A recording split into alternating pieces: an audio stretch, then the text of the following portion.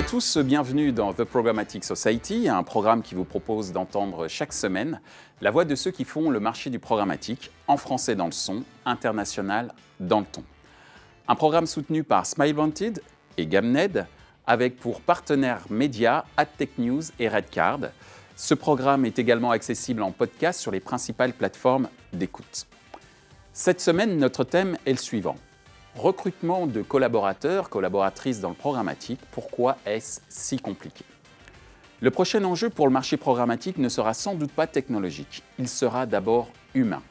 Recruter les collaborateurs en charge de l'optimisation des campagnes, de la définition d'une stratégie d'achat ou même des choix technologiques à opérer devient de plus en plus vital pour conserver sa crédibilité en tant qu'acteur de l'écosystème. Trouver les perles rares est devenu aujourd'hui un vrai sport de combat. Il existe pourtant des solutions. Pour en discuter, Isabelle Rouen de Colibri Talent, Yann Gabet d'Origami, Franck Terrier d'Unlearn Media, Jérémy Parola de Reworld Media. Bonjour à tous, bienvenue sur le plateau de The Programmatic Society. Aujourd'hui, on va parler d'un sujet clé euh, dans l'univers programmatique. Il s'agit du recrutement. Et euh, justement, on dit que le programmatique et la data vont générer de nouveaux métiers. D'après vous, euh, lesquels? On va commencer par toi, Isabelle.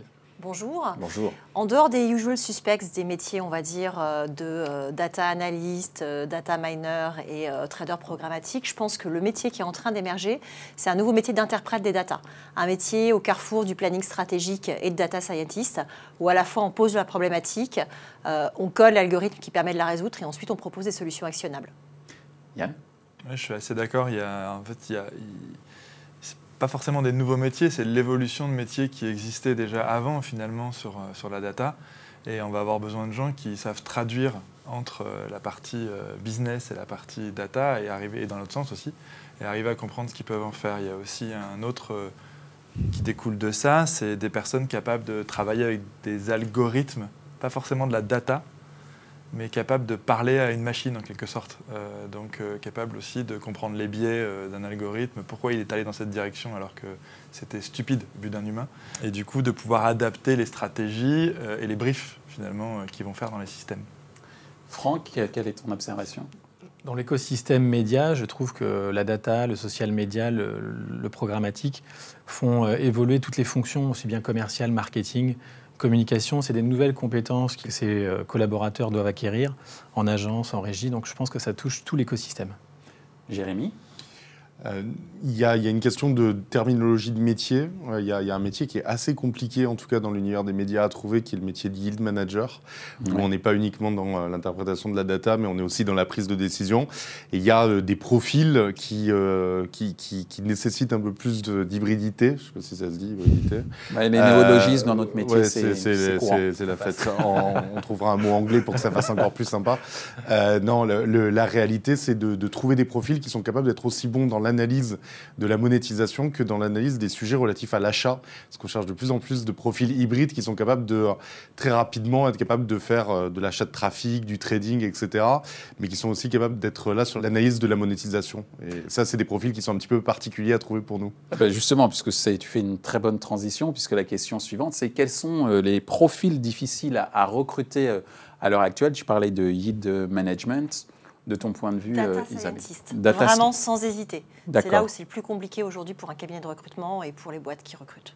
Aujourd'hui, personnellement, j'ai un peu de mal à définir ce qu'est un data scientist. Est-ce que c'est pas ça aussi qui fait que euh, peut-être l'employeur ou, euh, a, du mal à définir euh, exactement ce dont il a besoin? C'est pas tellement une question de définition, c'est juste que c'est un métier qui est récent et du coup, il y a peu de profils bien formés qui sont sur le marché. Il y en a encore pas mal qui sont sur les bancs de l'école. Donc d'ici 4-5 ans, ce gap va se résoudre. Mais en attendant, c'est vrai que c'est compliqué. Il y a plus de, plus de postes que de gens euh, qui sont qualifiés pour faire ce métier, qui est à la frontière de la statistique, l'interprétation de données, l'algorithmie, comme tu l'as dit. Et du coup, c'est euh, des métiers qui sont complexes à staffer.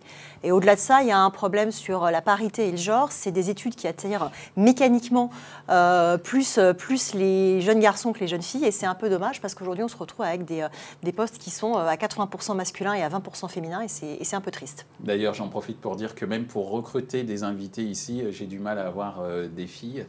Donc, je, lance, je, lance, un appel. Merci Isabelle d'être ici. Yann, Ton avis? Alors, ouais, bah, la, question de la parité nous, nous importe, puisqu'en fait, on forme des jeunes qui, justement, alors, ont des difficultés à trouver de l'emploi, euh, parce que soit ils viennent de quartiers, soit ce sont des femmes, quelquefois. Mm. Et d'ailleurs, euh, sur 14 élèves qu'on a aujourd'hui, on a 11 femmes. Alors, les, métiers difficiles à trouver, en tout cas, les métiers que nous, on nous demande, c'est des métiers euh, dans l'environnement programmatique, c'est des métiers aussi d'opérationnel. C'est-à-dire des gens qui font. Aussi. Et, et ça, c'est vrai que des juniors en fait formés sur ces métiers-là, il n'y en a pas. Ou alors on va aller. traffic manager par exemple? Oui, ou même euh, quelqu'un qui va gérer des campagnes euh, programmatiques, un, fait, un account manager programmatique euh, qui va gérer des campagnes au quotidien. Et, et en fait, comme c'est des métiers qui bougent beaucoup, en plus, les écoles ont du mal aussi à suivre, forcément. Puis c'est des métiers qu'elles ne connaissent pas forcément non mm. plus, hein, à mm. part les grandes écoles de commerce. Et les jeunes qui sortent des grandes écoles de commerce ne sont pas forcément dédiés à faire des métiers opérationnels.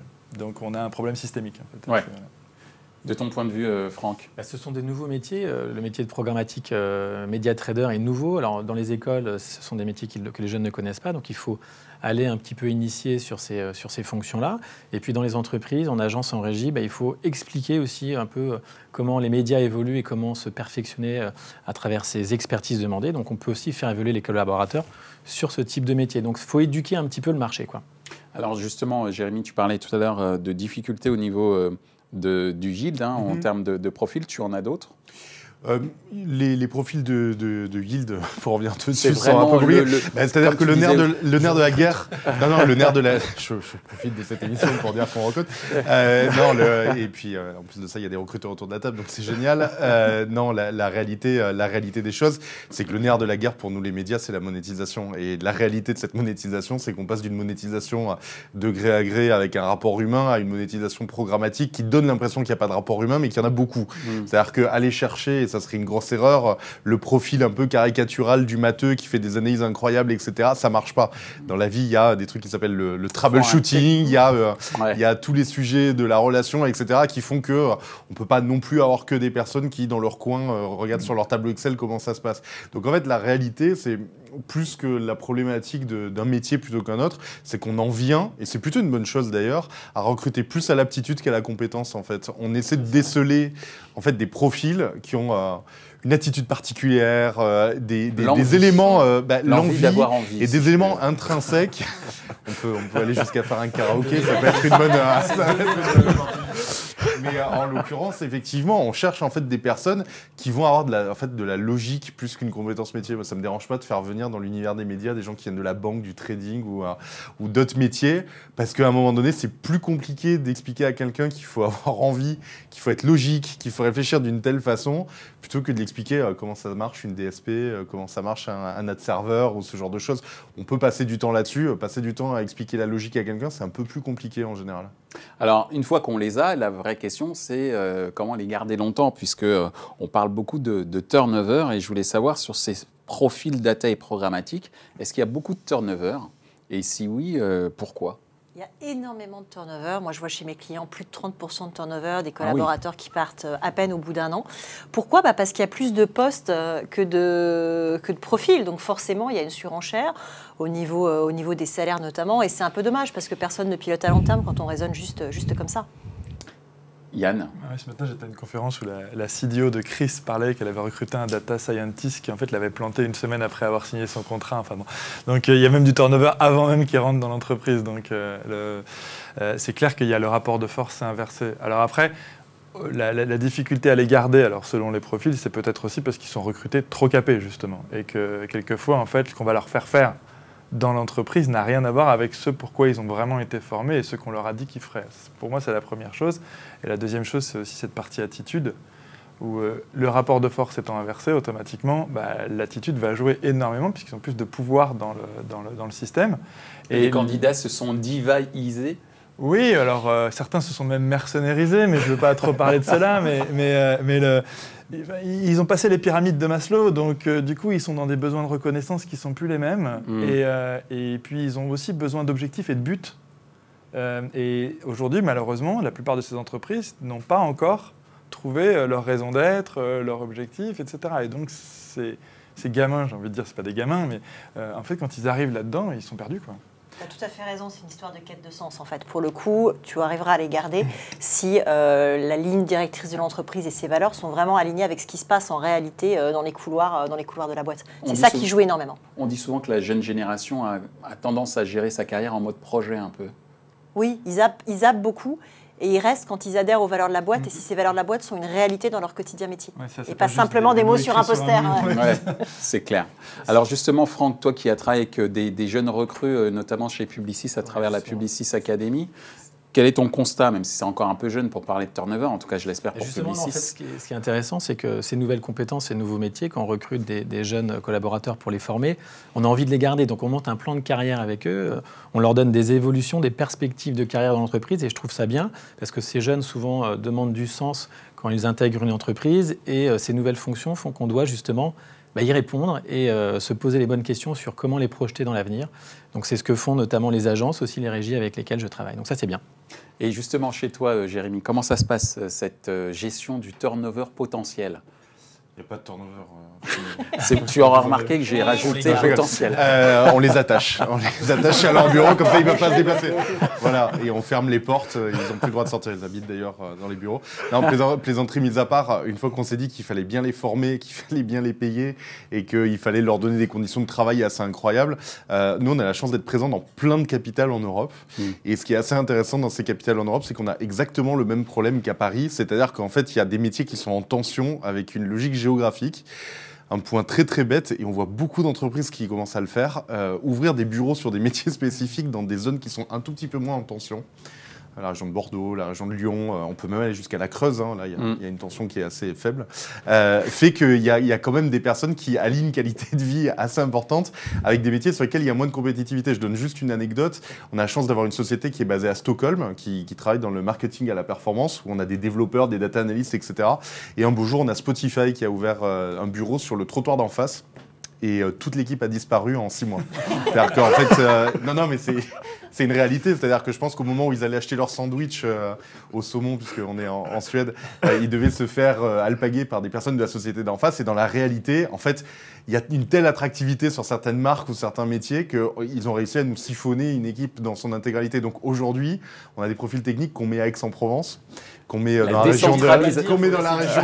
met dans la région de Nice qu'on met dans des régions. quand même. oui, bah, tant qu'à faire la qualité de vie, euh, il y a d'autres régions euh, très sympathiques, où il y a un peu moins de soleil. Mais la, délocalisation de certains métiers techniques, programmatiques, data, ça peut être une solution pour faire en sorte que les gens bah, déjà soient contents de vivre où ils vivent, euh, avec des conditions de vie qui sont intéressantes, et sûrement avec un peu moins de concurrence aussi. Ça, c'est pas mal. Alors, je vais parler euh, d'un sujet qui, est un petit peu euh, stressant pour, euh, j'allais dire, ceux qui sont déjà dans, l'écosystème publicitaire au sens large. C'est que on parle beaucoup du programmatique et de la data comme l'invention de nouveaux métiers, ce qui veut dire que des métiers anciens sont potentiellement menacés. Et justement, si on doit parler de reconversion pour ces différents métiers, quels sont les métiers les plus concernés par cette reconversion? Isabelle, peut-être Moi, je dirais les publics euh, un peu éloignés de l'emploi euh, et, les femmes en particulier. Je trouve que ce, que ce que tu fais, pour le coup, là-dessus est vraiment très malin parce qu'on ne peut pas se dire qu'on va tous être remplacés par des algorithmes et par des robots. C'est une formidable opportunité, justement, pour aller apprendre de nouveaux métiers et en milieu de carrière, basculer euh, vers des endroits où ça embauche. Et de combiner un savoir-faire technique sur lequel on va être formé avec le savoir-être que tu décrivais, puisque voilà, c'est tout l'intérêt. Mais est-ce que c'est des profils type commerciaux qui vont être plus menacés par ces nouveaux euh, métiers, puisque les machines vont peut-être faire les transactions à leur place Quel type de profil euh, devrait réfléchir aujourd'hui à sa reconversion? Moi, j'irais les profils des médias traditionnels, en fait. D'accord. Pour le coup, euh, le print a perdu 70% de sa valeur en 10 ans, la télé 40%.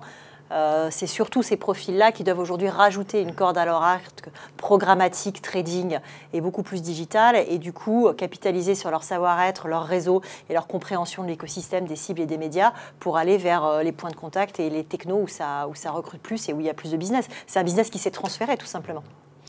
Yann, merci. Alors nous, on n'est pas dans la reconversion pour l'instant, on est dans la conversion. en fait, on prend des gens qui ont été formés sur quelque chose et on les convertit sur autre chose. Euh, le, Là, on a des gens qui viennent de tous les horizons. Euh, Donc on rappelle que toi, tu as créé une école il y a très peu de temps euh, qui est euh, dédiée, entre guillemets, à la pas reconversion, mais en tout cas une sorte de réorientation. En fait, on oriente, on oriente en fait des jeunes. Des, gens qui sont assez capés, hein, parce que j'ai eu l'occasion de, de, Tout à fait, bah, de les, voir. Euh, donc en moyenne, ils ont euh, bac plus 4, plus 5. Oui, en fait, ils démarrent à bac plus 3, mais en fait, il y en a beaucoup qui ont bac plus 5. Et, qui, ont eu du mal à, trouver un emploi. ils ont au moins 12 mois de galère de recherche d'emploi. D'accord. Et, et, tous pour des histoires complètement différentes, ce qui fait qu'ils bossent, quelques-uns même, ils ont bossé, mais ils bossent, certains sont manutentionnaires dans, une boîte, ou enfin, ils font des boulots qui n'ont rien à voir avec ce pourquoi ils ont été formés. Alors que la plupart avaient des profils marketing, ce qui m'a. Alors la moitié, la moitié ont des profils marketing, oui, tout à fait. Et mais marketing traditionnel justement. Enfin, peut-être pas ceux-là, mais. Non, mais en tout cas. Il y en a, oui. Et, euh, ou une, qui travaille dans une chaîne de fast-food, euh, voilà, que, tout le monde connaît. Et donc euh, le. L'histoire, en tout cas, ce qui est, ce qui est intéressant, c'est qu'en effet, ce sont des gens qui se sont orientés dès l'école vers des métiers qui sont en train de disparaître, clairement. Et en fait, c'est des métiers où les écoles, alors je ne les blâme pas, hein, c'est compliqué, mais continuent d'alimenter en fait, euh, ces, filières. Et en fait, euh, bah, voilà, je, remplis une carafe qui est déjà pleine et qui en plus est percée. Donc euh, ça, c'est très gros. il y a l'autre problème en parallèle, c'est qu'aujourd'hui, sur 700 000 jobs dans l'univers du digital, il y en a quasiment 30% qui ne sont pas pourvus. C'est des chiffres qui sortent du Syntec. Donc d'un côté, il y a une carafe, il y a un verre qui est trop plein, et l'autre, il y en a un autre qui est quasi vide. Donc effectivement, tout le sujet, c'est comment est-ce qu'on fait des ponts euh, on occupe en, métier, en, moyenne six métiers différents dans notre vie, donc il faut qu'on soit tous plus agiles, et les formateurs et les recruteurs pour faire basculer des gens vers des carrières où il y a de l'opportunité et l'embauche. En même temps, ça crée une dynamique parce que dans, dans les services euh, commerciaux, euh, je trouve que ceux qui sont sur des médias justement un peu vieillissants peuvent se dire, bah, avec ces nouveaux métiers, c'est l'occasion euh, d'évoluer dans ma carrière, alors que certains pensaient peut-être un peu faire ça toute leur vie. Donc ça crée une dynamique. Donc je trouve ça bien aussi pour les collaborateurs qui sont en poste. Ça, c'est pas mal. Alors justement, on a évoqué la presse, on a évoqué justement des métiers euh, qui doivent évoluer. Et justement, chez Reworld Media, vous avez racheté beaucoup de, de titres mhm. presse, comme Marie-France, je crois, ou, d'autres. Euh, et, et, donc, comment, est-ce qu'il y a une sorte d'opération reconversion de la part d'un certain nombre de profils commerciaux ou d'autres hein, vers justement des métiers euh, programmatiques et data, où le groupe Reworld Media semble quand même euh, s'être bien, bien, bien euh, orienté, on va dire. Bah, globalement, en gros, il y, a trois, il y a trois cas de figure pour arriver à remonter une équipe de conquête dans la logique digitale. Il y a effectivement les, les, salariés, notamment sur les fonctions commerciales existants, qui arrivent effectivement avec leur expérience, leur portefeuille, leur relationnel, etc. Et encore une fois, j'insiste là-dessus, les métiers de la programmatique sont aussi et avant tout des métiers du relationnel, puisque avant que les deals soient mis en place, il faut les négocier. Et une fois qu'ils sont mis en place, ils ne marchent pas du premier coup. C'est un mensonge quand on croit que la, la programmatique, ce sont deux ordinateurs qui communiquent parfaitement. Ce n'est pas vrai du tout. Il y a un gros travail personnel euh, à, mettre en place et humain à mettre en place là-dessus. Donc, euh, il y a un vrai travail de formation des équipes euh, déjà existantes en partant de leurs forces et en les amenant à la compréhension euh, la plus complète possible de l'environnement. Ensuite, il y a toute une logique de pépinière, à savoir on prend des jeunes pousses, euh, des personnes avec du potentiel, on les fait monter. Et c'est l'avantage quand la société grossit et que les capacités aussi financières grossissent. On peut derrière, pour encadrer tout ça, prendre des profils qui, eux, pour le coup, ont une grosse valeur ajoutée et vont arriver en apportant quelque chose. Et ce quelque chose, c'est soit une expérience, soit une compétence, soit euh, un encadrement. Et en fait, le mix de tout ça fait que bah, ceux qui sont en reformation progressent et, et avancent ceux qui commencent de zéro bah, ont tout le cadre pour arriver à progresser, et ceux qui sont là pour apporter leur expérience bah, permettent de faire monter tout le monde euh, en même temps. Partage d'expérience, c'est super important cette notion de relationnel et de lien. Euh, pour paraphraser Maud Lemoine, qui est une, chargée de transfo digital du groupe La Poste, euh, qui dit, qui n'arrête pas de répéter que la révolution digitale, c'est la révolution d'abord du lien entre les hommes. Mm. Euh, on voit les méthodes de collaboration qui changent, les modes d'organisation, mm. l'espace qui évolue aussi dans les bureaux, euh, les organisations même qui commencent à évoluer dans leur forme de, mm. fonctionnement. Et, typiquement, ça, aujourd'hui, on a encore un cursus qui est très structurel, très classique, etc., et qui finalement ne prépare pas forcément à cette révolution-là. Et dans les boîtes, les personnes n'ont pas été habituées à ça. Et si on les largue comme ça dans une entreprise euh, révolutionnée ou libérée pour certaines, euh, c'est la catastrophe. D'accord. C'est un, drame, c'est un désastre, parce qu'ils ne sont pas préparés, en fait, typiquement à ce genre de, révolution. C'est vrai que sur ces métiers-là, on développe aussi le savoir-être. En fait, il faut savoir se comporter. On n'est pas que dans la technique. Donc cette notion de conseil, d'accompagnement, de relations humaines est très développée dans certains programmes. Donc ça, c'est important. Dernière question pour notre euh, débat, elle sera euh, essentiellement pour euh, Isabelle et, Jérémy, même si vous pouvez bien sûr y répondre si vous avez des exemples à nous citer. C'est notamment les observations que vous avez pu faire pour attirer des nouveaux talents parmi les entreprises qui sont euh, tes clients et chez toi en tant qu'employeur. Isabelle? Bah, c'est tout ce qu'on peut mettre en place comme euh, projet de pépinière. Euh, tu parlais de la euh, programmatique académie de publicisme. Moi, je trouve cette initiative absolument géniale parce que ça permet de sourcer les talents, de les former et derrière de leur proposer un emploi. Microsoft a aussi fait un truc très malin avec Simplon sur l'école de l'intelligence artificielle qui forme et qui permet de réorienter des gens qui sont un peu éloignés du marché de l'emploi. Donc, c'est tout ce qu'on peut amener comme cursus de formation. Et puis après, il y a les usual suspects, effectivement, du cadre de travail euh, du fait d'être présent, d'avoir des, beaux bureaux, mais encore une fois d'être surtout aligné sur les valeurs euh, qu'on peut proposer euh, en tant qu'entreprise et, mettre en place dans la vraie vie. D'accord. Les régies s'y mettent aussi. Enfin, j'ai un exemple, chez Infopro Digital avec qui je travaille, ils ont lancé une, une, université hmm. pour former les collaborateurs et aussi intégrer les nouveaux. Donc c'est vrai qu'il y a une vraie tendance de former à travers ce type d'école interne. Investissement massif dans les stagiaires. Mine de rien, c'est un point qui est important. Et quand je dis investissement massif dans le stagiaire, ça ne veut pas dire avoir une boîte remplie de stagiaires. Ça veut dire que quand on a des personnes en stage, on les considère comme des futurs potentiels euh, euh, salariés. Donc ça veut dire qu'on investit énormément de temps, euh, énormément de travail dans le fait de pouvoir les accompagner, puisque quand on est, c'était un peu notre cas, la boîte a que 5 ans dans une logique de construction de la société. À un moment donné, on a, je pense, pendant une période, embauché quasiment 80% des personnes qui venaient en stage chez nous, mmh. qui font partie de cette première vague de personnes qu'on a fait progresser, etc. Le deuxième sujet, c'est s'obliger à rencontrer du monde. Et ça, c'est un point qui est assez important pour nous. Même quand on n'a pas de recrutement, on s'oblige à avoir des profils, à discuter avec eux, etc. Et il y a un dernier point qui est un point euh, important aussi pour nous, mais c'est parce que ça fait partie de l'ADN en fait de l'entreprise, ce côté euh, entrepreneurial. On a monté un fonds d'investissement euh, dans des, dans des startups qui fait du media for equity. On échange de l'equity de startups contre des médias. Et ce qui est hyper intéressant avec ça, bah, c'est que ça permet en fait d'avoir plein d'entrepreneurs dans l'immeuble, des personnes qui ont des projets, etc. Alors les projets des fois marchent très bien et on est très content d'avoir des parts dans ces entreprises et parfois ils ne marchent pas. Mais le bon côté, c'est qu'on a des personnes qui ont cette volonté d'entreprendre, qui sont en contact direct avec les les salariés au quotidien. Et des fois, quand les, boîtes ne fonctionnent pas, ça arrive aussi. C'est des potentiels salariés aussi qui redescendent euh, dans, les équipes euh, pour pouvoir bah, apporter cette fibre-là. Donc en fait, euh, on mise pas forcément sur la marque employeur, sur le côté université, etc. On est vraiment dans l'aspect un peu opérationnel du recrutement, où on met en place un maximum de points de contact. Et dès qu'on identifie quelqu'un, ce qui nous manque le plus dans nos sociétés, c'est du temps. C'est-à-dire que les projets, on les a, le temps, on l'a pas. Donc trouver des bons profils, les incentiver correctement, en leur disant, OK, je te fais confiance, je te rends autonome sur un projet, tu viens chez nous et il y aura sûrement quelque chose à faire, bah, c'est la façon qu'on a de pouvoir attirer des nouveaux profils et des nouveaux talents. Eh bien, euh, sur ce, merci d'avoir participé à ce sujet recrutement et je vous dis euh, à très bientôt. Euh, peut-être que vous me recruterez, on ne sait jamais. Ainsi s'achève ce débat autour du recrutement dans le secteur de la publicité euh, programmatique. Les trois points à retenir de nos échanges sont les suivants. 1. Les nouveaux profils recherchés sont ceux qui sont en mesure de faire de l'interprétation euh, des datas et de travailler les algorithmes. 2. On constate près de 30% de turnover sur les profils data et programmatiques. 3. La délocalisation de certaines fonctions opérationnelles ou scientifiques est une solution pour recruter des talents avec un grand taux de fidélisation à l'entreprise. Retrouvez ce programme en podcast sur les principales plateformes d'écoute. Merci à Smile Wanted et Gamnet pour leur soutien. Sans oublier nos partenaires médias, les magazines AdTech News et Redcard. Merci également à l'ensemble des équipes d'Atelier B pour la réalisation de ce programme.